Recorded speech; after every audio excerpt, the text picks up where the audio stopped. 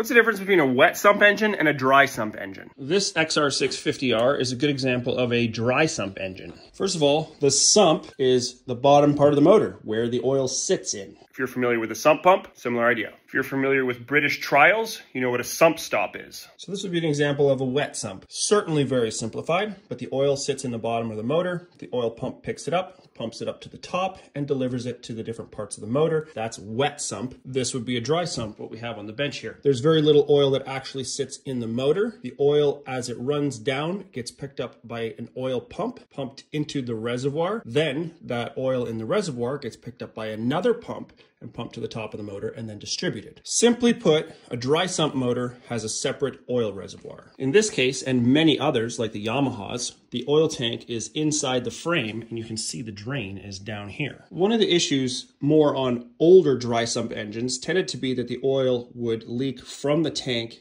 into the motor, and that's called wet sumping a motor. In modern dry sump engines, the most important thing to remember is when you're changing the oil, you need to have the bike running for a while before you check the oil. It's quite common on these that I find that the oil level is too high because somebody has changed their oil, didn't know that, and set the oil level before the bike had actually run.